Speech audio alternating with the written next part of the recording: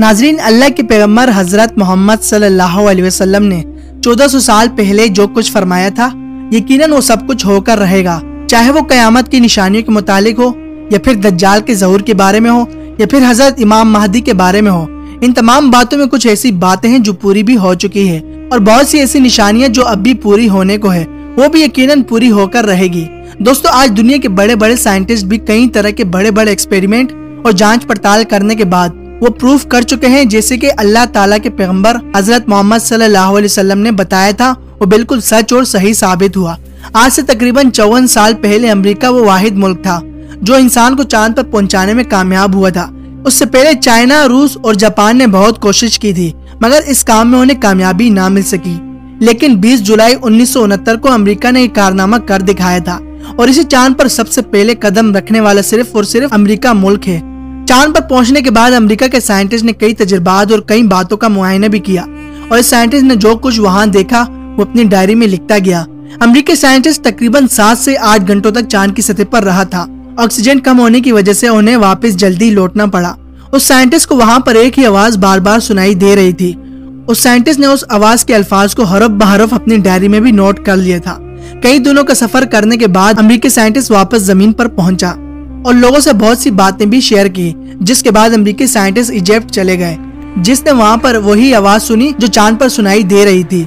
ये आवाज़ सुनने के बाद अमेरिका साइंटिस्ट बहुत हैरान और परेशान हो गया और सोचने लगा, ये तो वही आवाज़ है जो मुझे चाँद पर बार बार सुनाई दे रही थी। नाजिन, वो आवाज़ किस चीज़ की थी, ये सुनकर आपका ईमान ताज़ा हो जाएगा और आप मुसलमान होने पर फखर भी करोगे। मगर वीडियो में मजीद आगे बढ़ने से पहले हसबे रिवायत चैनल को सब्सक्राइब करके बेलाइकन को प्रेस कर लें और वीडियो पसंद आने की सूरत में लाइक करके शेयर कर दें। नाजीन उस आवाज़ के बाद जब इस साइंटिस्ट ने तहकीक की तो पता चला कि आवाज़ मुसलमानों की अजान की है, जो दिन में पाँच मरतबा दी जाती है।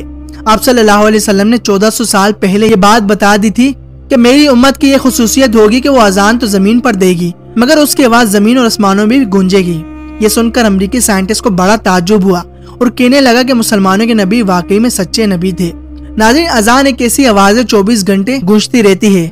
आज हर इंसान को मालूम होना चाहिए कि हमारे नबी साइंस के मोहताज नहीं है, बल्कि साइंस हमारे नबी हज़रत मोहम्मद वसल्लम के मोहताज है। अल्लाह ताला ने अजान का कुछ इस तरह से इंतज़ाम किया है कि पूरी दुनिया में 24 घंटे अजान की आवाज़ गूंजती रहती है।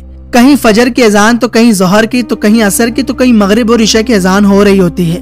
अगर आप इस पूरी दुनिया का जायजा लें तो ये मालूम होगा इस दुनिया में कहीं पर दिन निकल रहा है तो कहीं दोपहर तो कहीं शाम तो कहीं पर रात हो रही है। ये सब कुछ आप सल्लल्लाहु अलैहि वसल्लम की बदौलत ही मुमकिन हुआ।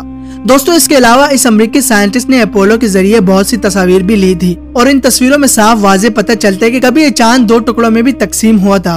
और दुनिया भर के साइंसदानों ने यह भी प्रूफ कर लिया कि जिस बात को इस्लाम कहता है कि चाँद को मुसलमानों के नबी हज़रत मोहम्मद सल्लल्लाहु अलैहि वसल्लम ने दो टुकड़े किया था। वो बात बिल्कुल सच और सही साबित हुई। ये तस्वीरें आज भी नासा के ऑफिशियल साइट पर मौजूद है। नासा ने इस बात की तहकीक करने के बाद प्रूफ भी कर लिया कि कभी चाँद भी दो टुकड़ों में तकसीम हुआ था। और अल्लाह ताला ने कुरान मजीद में भी चाँद के दो टुकड़े होने का ज़िक्र भी किया है। दोस्तों, अमरीकी साइंसदान के अलावा अब इसरो यानी भारत के चंद्रयान मिशन ने भी इस बात की तहकीक की है कि सच में चाँद के दो टुकड़े हुए थे। इंडिया के खिलाई इदारे इसरो का अपने बयान में कहना तक है, चौदह जुलाई को रवाना होने वाला मिशन। चंद्रयान थ्री अगस्त की पाँच तारीख को चाँद की सतह पर पहुँचा था। विक्रम नामी लैंडर 17 अगस्त को चंद्रयान थ्री को मॉड्यूल से अलग करने के बाद 23 अगस्त शाम छह बजकर चार मिनट पर कामयाबी के साथ लैंड किया। इंडिया के जानब से रवाना किए जाने वाला चंद्रयान थ्री कामयाबी से चाँद की सतह पर लैंड कर चुका है और चंद्रयान थ्री वहाँ पर लैंड हुआ जहाँ पर आज तक कोई और लैंड न कर सका। 2019 में चंद्रयान टू को चाँद की सतह पर उतारने की कोशिश की गई थी, जिसमें इंडिया को नाकामी का सामना करना पड़ा था, मगर इस बार भारत को चाँद पर कामयाबी मिल गई। नाजिन, अभी चंद्रयान थ्री चाँद पर पहुंचकर हालात का जायजा ही ले रहा था कि उन्हें एक दिलचस्प बात मालूम हुई। एक ऐसा इंकशाफ जो अक्सर ये लोग मुसलमानों से हमेशा सुनते हुए आ रहे हैं, वो इंकशाफ ये था कि आज से 1400 साल पहले चाँद को दो टुकड़ों में तकसीम किया गया था। चंद्रयान थ्री जब चाँद के दरमियान पहुँचा तो उन्हें एक लकीर भी नज़र आई जो दूर से एक बारीक लकीर मालूम हो रही थी। मगर जब पास जाकर देखा तो वो उस कदर गहरे और सियाह शगाफ थे। यूँ लगता जैसे अब भी चाँद दो टुकड़ों में मौजूद हो। चाँद के दो टुकड़ों की तस्वीर जब इंडिया में वायरल हुई तो हर जगह हैरानगी का आलम था।